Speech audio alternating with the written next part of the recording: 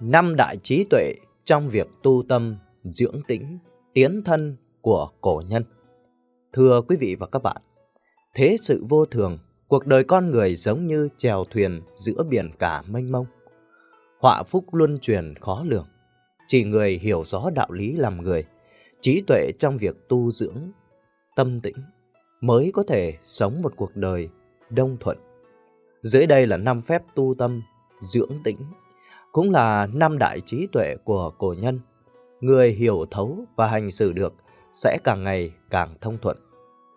Một, Thận độc Trong quá trình tu dưỡng của người quân tử thời xưa thường có một mục là thận độc, cẩn trọng khi ở một mình.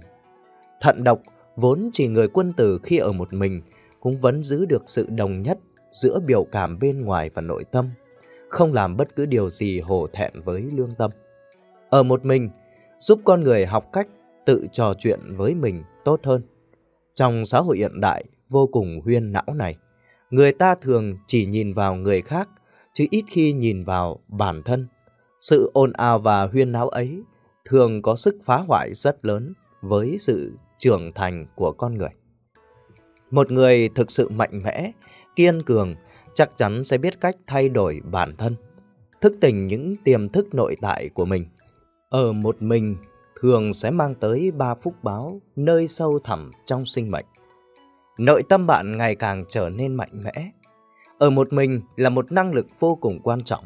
Nếu một người sợ ở một mình, chán ghét sự cô đơn, hễ nhàn rỗi một chút là hô hoán bạn bè kéo tới, thì thực ra tinh thần của họ không thực sự mạnh.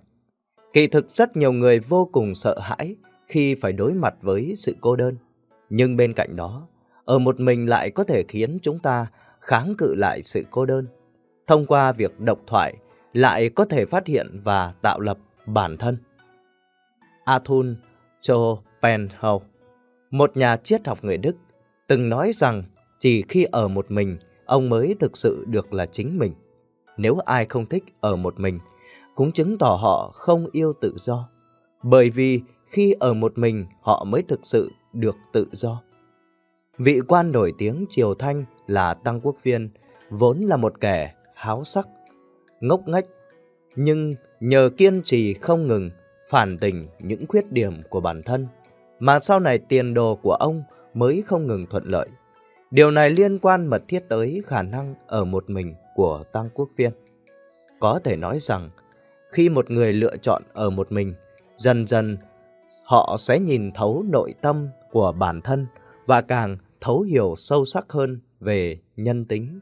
Một người thích nghi được với hoàn cảnh ấy sẽ trải nghiệm được đặc tính nội tại của bản thân một cách sâu sắc trong quá trình ấy. Thức tỉnh bản ngã trong tiềm thức. Ở một mình không phải là vứt bỏ mọi thứ sang một bên và trốn chạy, mà là quay trở về với cái tôi thuần khiết nhất của mình. Nếu một người thường xuyên làm vậy, nhất định họ có thể học được cách độc thoại với bản thân mình. Trong trị liệu tâm lý học, đây chính là phương pháp thường dùng để thức tỉnh tiềm thức của con người. Khi ở một mình, lời nói của bạn sẽ bước vào nội tâm sâu thẳm của bản thân một cách có ý thức. Tiềm ý thức cũng sẽ có thể được điều động một cách đầy đủ nhất. Thậm chí bạn có thể đứng trước gương, liên tục nhìn sâu vào mắt mình và nguyện ý biểu đạt nội tâm mình một cách chân thành nhất. Lần đầu tiên khi làm như vậy, bạn có thể cảm thấy khó xử và cho rằng tự độc thoại với bản thân thật ngốc nghếch. Nhưng sau nhiều lần thử nghiệm, bạn có thể nhìn thấy chân tâm bị vùi lấp của chính mình. Tâm trạng của bạn thông thường cũng sẽ tích cực và lạc quan hơn. Hiệu suất, tư duy và hành vi của bạn cũng không ngừng được nâng cao. Vậy nên, nội tâm của bạn sẽ càng trở nên cao thượng, thuần khiết. Giảm bớt áp lực, tâm bình khí hòa. Mỗi người khi đối mặt với việc mình phụ trách đều có thể không ngừng dằn vặt bản thân, lo nghĩ tới mức tổn thương thần khí.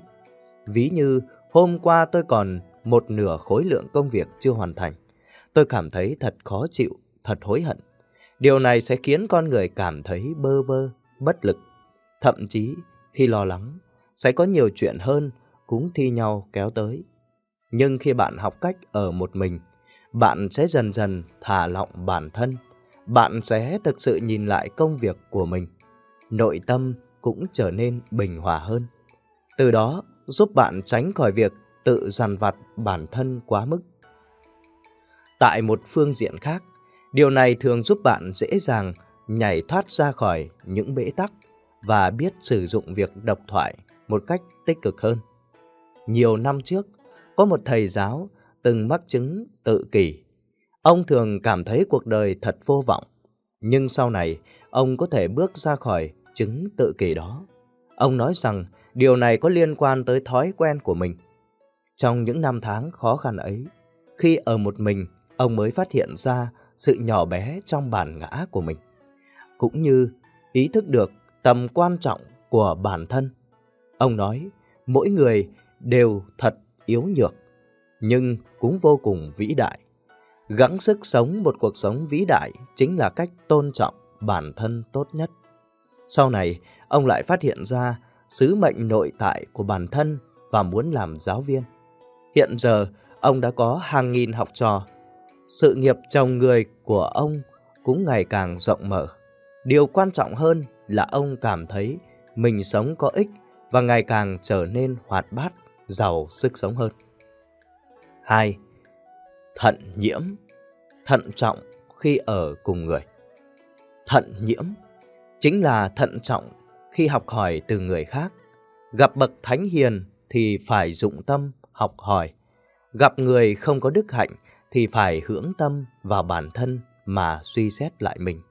Người thận nhiễm có thể chủ động tiếp nhận những ảnh hưởng của hoàn cảnh tốt, của người tốt, từ đó hàm dưỡng được chính khí của mình. Trong sách cổ, Mạc Tử Sở Nhiễm có ghi một câu chuyện. Một lần Mạc Tử nhìn thấy một người đang nhuộm sợi tơ liền cảm thán rằng dùng thuốc xanh nhuộm tơ, tơ thành màu xanh, dùng thuốc vàng nhuộm tơ, tơ thành màu vàng. Sử dụng thuốc có màu khác nhau thì tơ sẽ có màu khác nhau. Dùng 5 loại thuốc màu khác nhau nhuộm tơ thì có thể nhuộm ra 5 loại tơ có màu sắc khác nhau. Bởi vậy, tiếp xúc với điều gì là không thể không thận trọng. Mạc Tử cho rằng sợi tơ không thể tự bản thân nó biến sắc mà bởi vì bị ngâm vào những thùng thuốc nhuộm có màu sắc khác nhau mà trở thành như thế. Ông cho rằng con người cũng như vậy. Nếu hoàn cảnh sống của một người là tốt thì người ấy cũng chịu ảnh hưởng mà có phần tốt lên. Trái lại, nếu hoàn cảnh sống của một người không tốt thì người ấy cũng chịu ảnh hưởng mà trở nên bất lương. Cho nên, khi tiếp xúc với ai, hoàn cảnh nào cũng phải thận trọng. 3. Thận vi Thận trọng những điều nhỏ Triết học gia Triều Hán Vương Phù từng nói Thận vi phòng manh, dĩ đoạn kỳ tà Ý tứ chính là thận trọng những điều nhỏ thì có thể phòng ngừa được tai họa từ lúc manh nha. Nếu ở những việc nhỏ, tiểu tiết mà không thận trọng thì sẽ khó khỏi xảy ra bất ổn ở những việc lớn, việc quốc gia đại sự. Cổ nhân khái quát lại một câu nói. Chớ thấy điều ác nhỏ mà làm, chớ thấy điều thiện nhỏ mà không làm. Cổ ngữ cũng có câu.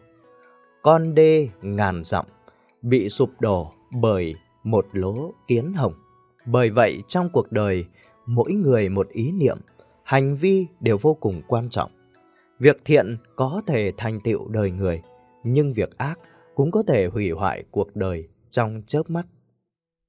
Khi Bạch Cư dị nhậm, chức thử sứ ở Hàng Châu đã không nhận bất kể một vật phẩm nào của người dân bang tặc.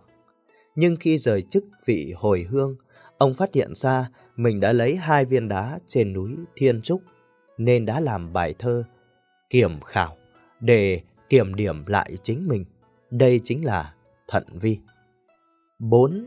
Thận trung Thận trọng lúc cuối như lúc đầu. Trong việc tu thân dưỡng đức, cổ nhân cho rằng cần phải thận trọng, cảnh giác ngay khi sự tình mới xảy ra, luôn ghi nhớ ranh giới để dừng lại đúng lúc, tránh đi lạc đường. Ví như khi vừa nảy sinh tâm niệm xấu thì cần phải chấn chỉnh lại ngay thì sẽ không dẫn đến hành động xấu. Để lại hậu quả về sau, đó là điều cổ nhân gọi là thận sơ. Thận sơ thường là điều mọi người đều làm được, nhưng trọng lúc đầu không nhất định là sẽ có thể làm tốt được bước cuối. Người ta thường lơ là, buông lơi khi đã bước vào giai đoạn sắp kết thúc. Khi sắp đạt được thành công, bởi vậy mà không ít người bị thất bại. Ví như nhiều người cả đời thanh liêm, được người người kính trọng, nhưng khi sắp rời trốn quan trường, lại vì danh lợi, tình, dẫn dụ mà để tiếng xấu muôn đời, thậm chí con cháu bị cười chê. Cho nên, thận trọng lúc cuối như lúc đầu là mấu chốt phòng ngừa, sắp thành lại bại. Trong sách Đạo Đức Kinh viết rằng, thận trung như thủy, tắc vô bại sự, tức là thận trọng lúc cuối như lúc đầu thì việc sẽ không bị hư. Lão Tử cho rằng đối với bất kể sự tình gì, trước sau đều phải thận trọng, phải thủy chung, bảo trì sự nhiệt tâm đối với làm việc. Làm được như đến nơi đến chốn. Đặc biệt trong giới tu hành, nếu một người luôn thận trọng lúc đầu nhưng lại lơi là lúc cuối, thì cũng khó đạt được kết quả viên mãn. Ngoài những đại trí tuệ, trên cổ nhân còn dạy rất nhiều về việc tu tâm, dưỡng tính của con người để có một cuộc sống tốt đẹp hơn. Hãy tu tâm, dưỡng tĩnh, mỗi ngày bằng tám chữ nên gối đầu giường sau. Sống trên đời nhất định phải có tu tâm, đừng buông lòng bản thân giống như nước chảy bèo trôi, phó mặc cho hoàn cảnh để rồi phải hối tiếc. Một, nhẫn, nhẫn nại, nhẫn nhịn. Nhẫn có thể là dưỡng phúc. Đời người ai cũng sẽ gặp phải những sự tình không thuận lợi, không hài lòng. Khi ấy con người nhất định cần phải nhẫn. Bởi vì từ xưa đến nay, làm người, việc lớn, tất phải là người có đại khí. Người có đại khí, tất có đại nhẫn. Nhẫn không phải là trốn tránh, chạy trốn, mà là một loại tích lũy của năng lượng. Người có nhẫn sẽ thường không phạm sai lầm do nhất thời gây ra. 2. Thiện Lương thiện Thiện có thể sinh ra đức. Thông minh là một loại thiên phú, còn lương thiện là một loại lựa chọn. Lương thiện là loại đạo đức tốt đẹp nhất của con người thế gian. Lương thiện có lẽ không thể khiến con người đạt được tất cả mọi thứ bản thân mong muốn, nhưng sẽ giúp bạn luôn có nội tâm an định. 3. Hỷ, vui mừng. Hỷ có thể dưỡng nhan, nhan là sắc đẹp, vẻ mặt, nét mặt. Tâm thái vui vẻ, sảng khoái. Hoạt bát là bí quyết trường thọ của người. Phương pháp tốt nhất để bảo trì sự thanh xuân, trẻ trung của người chính là luôn giữ cho mình một nội tâm vui vẻ, thoải mái. Con người không phải là vì già mà dừng lại sự vui đùa, mà là vì sự vui đùa mà không già. Mỉm cười là cách tốt nhất tạo nên vẻ đẹp của con người, là cách đơn giản và nhanh nhất để kết nối mọi người lại với nhau. 4. Từ, từ bi hiền hậu. Từ có thể dưỡng tâm. Vì sao sau tuổi trung niên, có người có khuôn mặt hiền lành phúc hậu, có người lại có khuôn mặt hung dữ, tràn đầy oán khí. Đó là bởi vì mọi từ bi bảo trì một tâm thái hòa ái đối với tất cả mọi người trên thế gian. Bởi vì tướng do tâm sinh, tướng tùy tâm mà thay đổi. Cho nên khi tâm đẹp thì tướng mạo cũng sẽ đẹp. 5. Ái, yêu thương. Ái có thể dưỡng hành. Người mà trong lòng đầy tình yêu thương thì nhất cử nhất động của người ấy cũng tràn đầy tình yêu thương. Một người mà trong lòng luôn so đo tính toán thì cho dù ở thời điểm nào cũng bị thường bị khó dễ đi cùng. 6. Thành Chân thành, thành thật thành có thể dưỡng tính. Chân thành là nguyên tắc quan trọng nhất trong kết giao. Chúng ta ai ai cũng mong muốn được người khác đối xử chân thành với mình. Vì vậy, hãy đối xử chân thành với người khác trước, bạn sẽ nhận được điều tương tự. Một người thành thật trong sáng thì khí chất cũng đoan trang, đẹp đẽ, ánh mắt của họ đều tỏa ra ánh sáng. 7. Cần Cần mẫn, chăm chỉ Cần có thể phát tài. Người xưa có câu, Ông trời sẽ bù cho người cần cù. Là có ý nói rằng, Một người siêng năng cần cù Sẽ được ông trời giúp bù đắp cho. Có người sau khi kiếm được tiền Thì gần như tiêu hết. Nhưng có người vẫn duy trì được khả năng tài chính của mình. Đó là vì cần có thể phát tài, Kiệm có thể lưu tài. Khoan Khoan dung có thể tụ khí. Một người hiểu được khoan dung Thì lòng dạ cũng nhất định rộng lớn. Những người này luôn không so đo tính toán chi ly Cũng sẽ không vì chiếm được lợi ích nhỏ mà vui mừng khôn xiết. Người luôn tính toán chi ly nhất định sẽ sống rất mệt Đôi khi lùi một bước lại chính là tiến lên một bước. Lùi một bước biển rộng trời cao nhường nhịn một bước sẽ có nhiều bạn bè hơn.